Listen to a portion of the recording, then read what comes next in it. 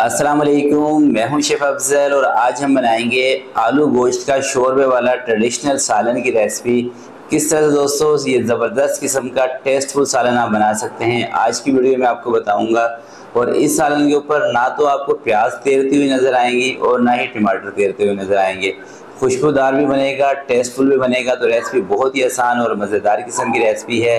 तो फिर बिना टाइम ज़ाय किए चलते हैं आज की इस मज़ेदार रेसिपी की तरह।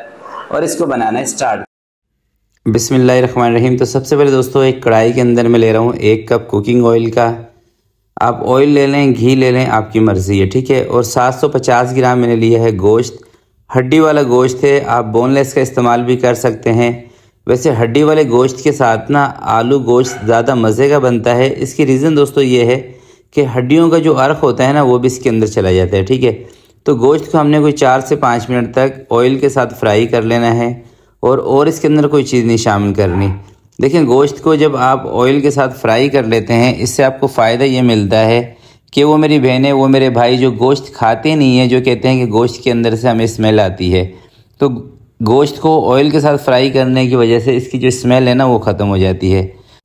तो पाँच से छः मिनट इसको फ्राई करने के बाद ना दोस्तों, एक तो ये पानी अपना छोड़ देता है, एक से दो मिनट के बाद और जब पाँच से छः मिनट इसको फ्राई करेंगे, इसका पानी खुश्क हो जाएगा और जो बड़ी बड़ी बोटियाँ थी ना, वो सुकड़ के छोटी हो जाएँगी।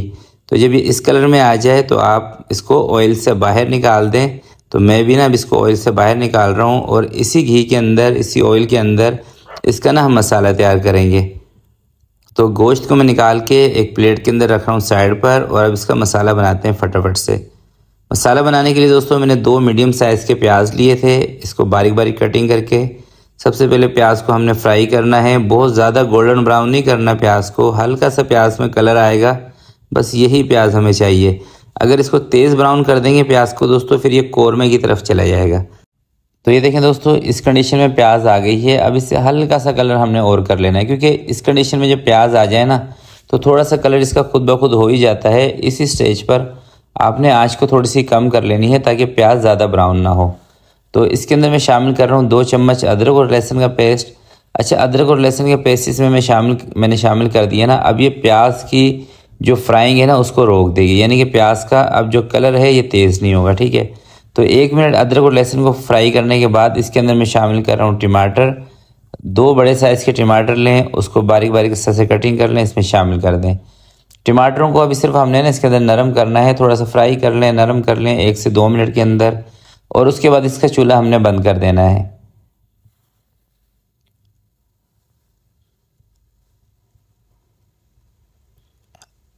तो ये देखें दोस्तों, टमाटर जो हैं, ये थोड़े से सेट हो गए हैं, नरम हो गए हैं तो अब इसका चूल्हा मैं बंद कर रहा हूँ। चूल्हा बंद करके थोड़ा सा इसको ठंडा होने देंगे। ये देखें, इस कंडीशन में आ गया। अब इसका चूल्हा मैंने बंद कर दिया, थोड़ा सा ठंडा करते हैं, फिर इसको हम डालेंगे मिक्सी के जार में। चलिए दोस्तों, टमाटर का पेस्ट थोड़ा सा ठंडा हो गया तो इसको मैं अब मिक्सी के जार में डाल रहा हूँ। ठंडा करके दोस्तों इसलिए डाल रहा हूँ ताकि ये जो मिक्सी का जार है ना, ये है हमारा प्लास्टिक का। अगर गरम गरम मसाला इसके अंदर डाल देते तो फिर इसने टूट जाना था। तो अब इसका हम बना लेते हैं पेस्ट अच्छी तरह से। चलिए दोस्तों, टमाटर का मैंने पेस्ट बना लिया है। अब सबसे पहले कढ़ाई के अंदर गोश्त शामिल करेंगे और ये जो टमाटर प्याज का जो पेस्ट बनाया था, ये शामिल कर देंगे। और अब कुछ मसाले हैं, वो इसके अंदर जाएँगे, जो कि बस बेसिक से मसाले हैं, कोई एक्स्ट्रा ऑर्डनरी मसाले इसके अंदर हमने नहीं लेने। आधा कप दही का आपने शामिल करना है, दही को फेंट के शामिल करना है। एक चम्मच रेड चिली पाउडर यानी कि लाल मिर्चों का पाउडर शामिल कर रहा हूँ। एक चम्मच धनिया पाउडर हल्का सा दरदरा सा है, धनिया मेरे पास कूटा हुआ। और एक चम्मच इसके अंदर मैं ज़ीरा पाउडर शामिल कर रहा हूँ। आधा चम्मच कश्मीरी लाल मिर्च का। आधा चम्मच दोस्तों इसके अंदर मैं शामिल कर रहा हूँ हल्दी पाउडर का। और नमक इसके अंदर दोस्तों मैं शामिल कर रहा हूँ डेढ़ चम्मच। नमक कम लगेगा तो बाद में हम इसके अंदर और भी शामिल कर लेंगे। एक चम्मच ग्रीन चिली का पेस्ट और आधा किलो दोस्तों मैंने लिए हैं आलू, ये इसके अंदर शामिल कर रहा हूँ। तीन पाव गोश्त हो तो इसके अंदर आप आधा किलो आलू ऐड कर लें। ये ज़बरदस्त कॉम्बिनेशन इसका रहेगा। तो अब क्या करना है? अब मसालों को तकरीबन चार से पाँच मिनट तक हमने भुनाई करनी है। ताकि टमाटर और प्याज की भी थोड़ी सी भुनाई हो जाए और जो इसके अंदर हमने मसाले ऐड किए हैं, खुश्क मसाले, उसकी भी भुनाई हो जाए। जब तक ये अच्छी तरह से जो ऑयल है ना छोड़ दे, तब तक आपने इसकी भुनाई करनी है। तो ये देखें दोस्तों, तकरीबन पाँच मिनट तक इसकी मैंने कोई अच्छी तरीके से बुनाई की होगी। अब इसने सारा अपना ऑयल छोड़ दिया है।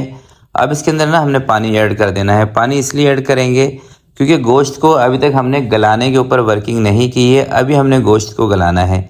तो गोश्त गलाने के लिए पानी थोड़ा सा खुला डुला डाल दें क्योंकि आपने इसको कढ़ाई के अंदर गलाना है। एक घंटा तकरीबन गोश्त को लगेगा गलने में और दोस्तों जब एक घंटे तक आप इसको हल्की आँच पे पकाएँगे ना तो प्रेशर कुकर से ज़्यादा आपको इसके अंदर मज़ा आने वाला है।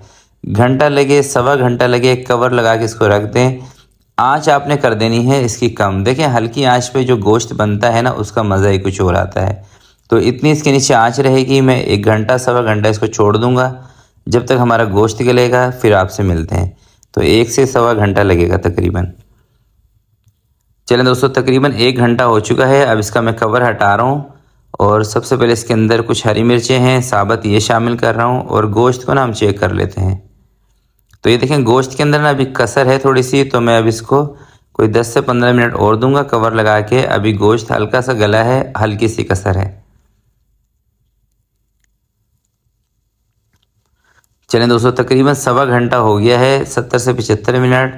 तो अब इस गोश्त को मैं आपको सबसे पहले गोश्त चेक कराता हूँ। आपने देखें, सबसे पहले गोश्त को चेक करना है। दोस्तों, जब तक गोश्त नहीं गलेगा ना, आलू गोश्त के अंदर टेस्ट नहीं आने वाला। शर्त यह है कि गोश्त गले और अच्छी तरह से गले। तो ये देखें, ज़बरदस्त गोश्त हमारा गल चुका है। तो अब इसका चूल्हा मैंने बंद कर दिया है, क्योंकि ना अब तो इसके अंदर पानी ऐड करना है, ना इसको खुश करना है अभी हमें। शोरबे वाला चाहिए तो इसके अंदर मैं आधा चम्मच गर्म मसाला पाउडर शामिल कर रहा हूँ। दो चुटकी खुशबू के लिए जायफल जवातरी का पाउडर शामिल किया है और थोड़ा सा धनिया इसमें शामिल किया है। तो जायफल जवातरी का इस्तेमाल लाजमी किया करें। इससे सालन के अंदर खुशबू बहुत प्यारी आती है। तो यह है दोस्तों, इसका फाइनल लुक अब ना मैं आपको इसको डिश आउट करके दिखाता हूँ और आपने कमेंट्स बॉक्स में मुझे लाजमी बताना है कि आपको ये देगी आलू गोश्त की मेरी रेसिपी किस तरह की लगी।